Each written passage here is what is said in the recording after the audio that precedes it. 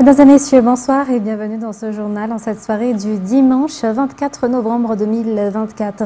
Dans les informations de ce soir, 25 novembre 2024, la journée mondiale dédiée à la lutte contre les violences faites aux femmes à travers l'événement Orange Day, une journée de sensibilisation à travers le port d'habits de couleur orange. En effet, cette couleur a été choisie mondialement pour évoquer la lutte contre la violence faite aux femmes au niveau de la société. Le point avec Annelle Martina. Oranger le monde ou Orange Day est la dénomination de l'événement des Nations Unies pour marquer la journée mondiale dédiée à la lutte contre les violences faites aux femmes, mais aussi pour marquer le début des 16 jours d'activisme dans cette lutte contre la violence basée sur le genre. Ces 16 jours se termineront le 10 décembre. Un événement pour lequel tout un chacun est invité à porter un habit de couleur orange pour montrer la solidarité dans la lutte contre toutes les formes de violence faites aux femmes au niveau de la société, dans le foyer, dans la rue, dans les établissements scolaires et au travail. Pourquoi la couleur orange? En 2008, le secrétaire général des Nations Unies a initié cet événement pour éradiquer totalement les violences faites aux femmes jusqu'en 2030. La couleur orange a été choisie pour marquer cette journée car elle symbolise la motivation, l'espoir pour un avenir meilleur des femmes. Madagascar place une grande importance à cette journée à travers Mial la première dame de la République. Ainsi, il aura la mise en place d'un centre spécialisé à Mamas pour accueillir ceux qui sont victimes de ces violences. La première dame, Melrazwiln, présidente de l'association FITI, ne cesse de renforcer sa volonté de lutter contre les violences et a affirmé qu'elle sera toujours aux côtés des femmes malagasy. Demain, 25 novembre, Madagascar célèbre la journée des Nations Unies pour la lutte contre les violences faites aux femmes. Un événement sous le leadership de la première dame, Melrazwiln, présidente de l'association FITI, et qui a pour thème Mzurs Manarte n'arrive à venir à Nirsich ou se relever et avancer après avoir été victime de violences. Dans les actualités politiques, la rencontre de la candidate numéro 7, Arlal Ramanatsu, avec la population d'Antananarive aujourd'hui devant le Palais des Sports et de la Culture de Mamas s'est focalisée sur la présentation de son programme de travail pour le développement d'Antananarive. Tous les travaux déjà initiés seront poursuivis selon la candidate. Les erreurs seront rectifiées et la candidate Arlal Ramanansou se focalisera davantage sur le social, a-t-elle affirmé. Reportage signé Cécilvin Anena Martina sur les images de Zara Gianso. La population est venue nombreuse aujourd'hui devant le Palais des Sports et de la Culture de Mamas pour assister à la présentation de son programme par la candidate aux élections communales d'Antananarive, Arlal Ramanansou. La candidate numéro 7 appelle à la solidarité afin de pouvoir réaliser les programmes qui répondent aux aspirations de la population d'Antananarive. Durant cet événement, la candidate Al-Ramanansou a rencontré la population des six arrondissements de la capitale, durant laquelle elle a présenté les travaux à réaliser lorsqu'elle sera élue à la mairie de la ville. Ainsi, la mise en place de guichets uniques pour accélérer la demande d'autorisation de construction sera effectuée selon les explications. La réhabilitation des marchés figure également parmi les priorités. Construire, rénover et améliorer la ville, tels sont les objectifs de la candidate Arlal Ramanansou, numéro 7 dans le bulletin unique, lors des élections du 11 décembre prochain. Et cette candidate numéro 7, Alara Manansou, est une candidate pour le rassemblement, une candidate pour la paix et le développement. Ce sont les propos de simples citoyens, des leaders d'associations et des politiciens interviewés par nos journalistes au Palais des Sports aujourd'hui. C'est l'amour pour la capitale qui les a poussés à soutenir la candidate et à convaincre les électeurs à voter pour elle le 11 décembre prochain. Reportage toujours de Martina Antananarive, une capitale harmonieuse dans la stabilité et unie pour le développement. Les visions et les programmes, mais surtout l'expérience de la candidate Arlal Ramanansu reflètent tout cela selon les citoyens. La candidate numéro 7 n'est pas une candidate qui s'attarde sur les querelles politiques, mais une candidate qui travaille et qui veille sur les plus démunis, selon les explications. Ainsi, les résultats de son leadership sont déjà visibles actuellement dans la capitale, comme la réduction des impôts immobiliers jusqu'à 50%, la coordination de la circulation, la préparation à la période de pluie et bien d'autres. Le nombre des partisans de la candidate Al Ramanansou s'étoffe chaque jour. Elle est la seule candidate de la plateforme politique IRMAR, la plateforme qui a obtenu la majorité au sein du Parlement et la majorité des maires au cours des dix dernières années. Une victoire bénéfique pour Antananarive et la victoire du peuple, c'est l'objectif avec Arlal Ramanansou qui est la seule candidate féminine en lice. En outre, des jeunes, des travailleurs sociaux, des sportifs composent la liste de ses conseillers municipaux. Les actualités sociales à présent, des pluies au niveau de Tiaspanir et Mintassou, c'est ce qui a été provoqué vendredi dernier selon les explications fournies par le service de la météorologie hier. Cela a apporté des résultats car le niveau de l'eau des centrales de production d'électricité d'Intelmit et de Manjak ont augmenté selon la Jirama. La provocation de pluie artificielle s'est poursuivie hier samedi au niveau d'un décalé car selon toujours les explications du service de la prévision météorologique.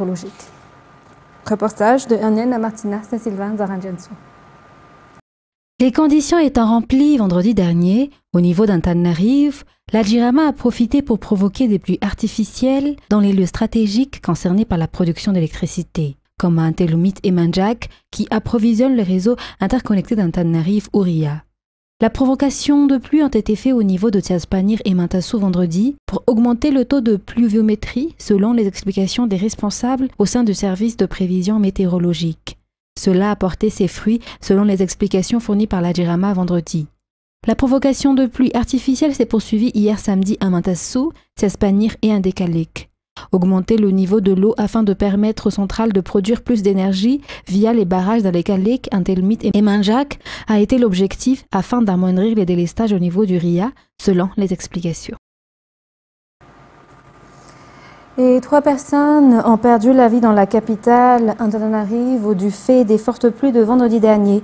Un mur de soutènement a cédé et a entraîné l'écroulement d'une maison de trois étages à Ndjefanabuzanari, ce qui a causé le décès de ces trois personnes selon les informations. Un enfant a été également blessé suite à cet incident et devrait subir une intervention chirurgicale en urgence. La grande famille de la mairie d'Antananarive menée par le PDS Alexandre Georget est venue apporter son soutien à la famille des décédés hier matin. Ils sont également venus visiter les blessés et a déclaré que la mairie prendra en charge les frais médicaux.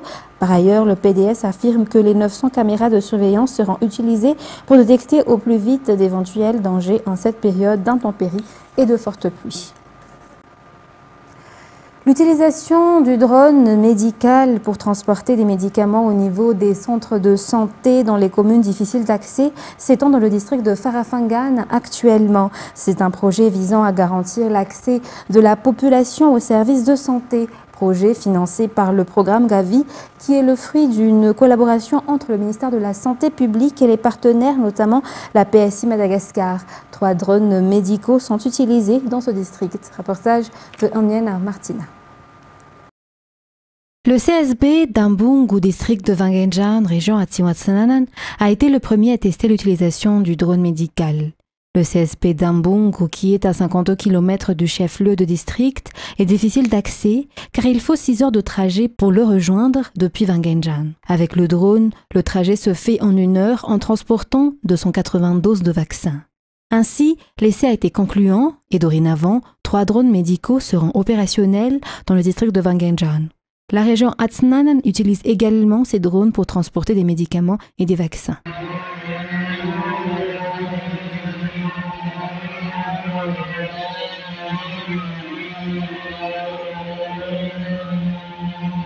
Ce projet durera jusqu'en 2025 afin de diminuer les charges de travail des personnels de santé de base, mais aussi pour réaliser les visions de l'État pour des soins de santé de proximité. Le drone médical est un projet de l'État à travers le ministère de la Santé publique et les partenaires, à savoir PSI Madagascar, est financé par Gavi. Pour clore les actualités locales, c'est à travers des actions sociales, en répondant aux doléances de la population pour l'éclairage public de la ville, que le député de Madagascar, élu dans le district de Farafangan, région Atimosnan, Pinchar Vilmiouch, a remercié les notables et la population locale pour avoir voté pour lui lors des élections. L'action sociale s'est poursuivie dans les dix communes du sud du district de Farafangan. C'est également l'occasion pour l'élu de demander la bénédiction des aïeux pour ses cinq ans de mandat dans la foulée, le CSB2 d'Incarne a bénéficié des équipements tels que des lits et des matelas, ainsi que des toits en tôle. Les infrastructures de ce CSB2 d'Incarne étant déjà vétustes. Passons à présent aux actualités internationales. Au Soudan, plus d'un million et demi de personnes sont au bord de la famine. C'est la plus grande crise humanitaire de la planète, la plus grande crise de la faim, la plus grande crise du déplacement et le monde s'en désintéresse, dénonce le chef du Conseil norvégien pour les réfugiés qui fustige l'indifférence de la communauté internationale alors que le pays est en guerre depuis avril 2023. Le point avec France 24. Depuis des mois, les organisations humanitaires ne cessent d'alerter. Des millions de Soudanais sont menacés par la famine. Cette fois, le NRC, le Conseil norvégien pour les réfugiés, déplore en plus de la malnutrition une crise humanitaire généralisée et sans précédent. Le Soudan, y compris le Darfour, est aujourd'hui le théâtre du plus grand drame humanitaire que nous ayons connu. Nulle part ailleurs dans le monde, 25 millions de vies ne sont en jeu. 25 millions de Soudanais menacés, cela représente près de la moitié de la population du pays. Les récents rapports du CNR indiquent que le pays est en ruine et l'agriculture à l'arrêt et soulignent que la destruction systématique des infrastructures agricoles empêche toute reprise des approvisionnements. De plus, L'aide internationale est freinée par les combats et les attaques contre les convois humanitaires. Un drame humain alimenté par la guerre meurtrière qui ravage le pays depuis avril 2023. Le conflit oppose l'armée régulière du général Abdel Fattah el-Bourhan, arrivé au pouvoir par un coup d'État en 2021, aux paramilitaires des FSR, les forces de soutien rapide. Derrière nous se trouve le Darfour et Geneina. C'est le point de départ pour des centaines de milliers de personnes qui ont fui par cette route les atrocités, commencées il y a un an et demi, qui se poursuivent encore aujourd'hui. Avec la poursuite des violences et des exactions commises par les belligérants, les déplacés continuent d'affluer dans des camps souvent surpeuplés pour y trouver refuge mais ils n'y trouvent pas ou peu d'aide alimentaire. Selon l'ONU, chaque mois, des centaines de milliers de Soudanais meurent de faim, parmi eux de nombreux enfants. Le premier tour de l'élection présidentielle a eu lieu ce dimanche en Roumanie. Le scrutin s'annonce très serré. L'extrême droite pourrait se qualifier pour le second tour alors qu'elle se dit favorable à un arrêt de l'aide à l'Ukraine. France 24. C'est une élection présidentielle à haut risque. Elle pourrait profondément changer le paysage politique roumain. L'électorat est très fragmenté. Nous n'avons jamais eu une situation pareille. Il y a une montée du populisme et on ne sait pas encore qui parmi les candidats réussira à combattre ce populisme. Et voici celui qui incarne ce populisme en Roumanie, le candidat d'extrême droite Georges Simion, 38 ans. Un admirateur de Donald Trump, qui affirme appartenir à la nouvelle vague de dirigeants patriotes en Europe. Georges Simeone accuse la classe politique roumaine d'être inféodée aux intérêts étrangers. Il défend pour sa part la souveraineté politique et économique du pays. Selon les sondages, Georges Simeone est l'un des favoris de ce scrutin, avec le Premier ministre Marcel Ciolaco, qui lui représente les sociodémocrates. Arrivent ensuite la candidate centriste Elena Lasconi, un ancien de l'OTAN, Mircea Joana, et l'ancien Premier ministre de centre droit, Nicolae Chouka. Beaucoup de prétendants, mais des électeurs pas vraiment convaincus. Pour les jeunes, il n'y a pas de candidat idéal. On veut juste choisir le moins pire. Je ne vais pas voter, il n'y a personne pour qui voter. C'était pas une campagne très claire. On n'a pas été bien informés. Les sujets sur lesquels les candidats étaient attendus L'économie d'abord, car la Roumanie a un déficit budgétaire parmi les plus élevés au sein de l'Union européenne. La population doit aussi faire face à une hausse du coût de la vie et s'inquiète pour sa sécurité, à l'heure où l'Ukraine, pays voisin, est plongée dans la guerre. Et alors que le Premier ministre israélien Benjamin Netanyahu refuse de négocier pour libérer les otages restants dans la bande de Gaza, leurs proches continuent de se mobiliser. Ils veulent que leurs enfants rentrent à la maison et demandent la fin de la guerre. France 24. C'est inédit pour le Premier ministre israélien. En pleine guerre sur plusieurs fronts, au Liban, à Gaza, Benjamin Netanyahou s'en prend directement à l'armée et aux services de sécurité d'Israël. Dans une vidéo de 9 minutes publiée sur ses réseaux sociaux, il déclare que lui et par la même occasion Israël, ont été trahis par ces instances. Il les accuse d'avoir dissimulé des informations sur la stratégie du Hamas et d'en avoir divulgué d'autres, mettant en danger la sécurité du pays. Une contre-attaque pour défendre l'un de ses proches collaborateurs, Eli Feldstein, accusé d'avoir diffusé des documents confidentiels dans le but d'atténuer la pression publique et les critiques à l'encontre du Premier ministre israélien après l'assassinat de six otages par le Hamas fin août. Ce à quoi nous assistons, c'est à une guerre civile des mots. Le Premier ministre n'a pas de milice privée, mais nous assistons à une guerre ouverte, à une semi-guerre entre le gouvernement et les agences de sécurité de l'État. Un Benjamin Netanyahou sous pression entre inculpation pour crimes de guerre par la Cour pénale internationale et attaque dans son propre pays. À Tel Aviv, les familles des otages toujours détenus à Gaza sont plus que jamais en colère. Nous ne faisons pas confiance à Netanyahou. J'ai l'impression que mon gouvernement me trahit.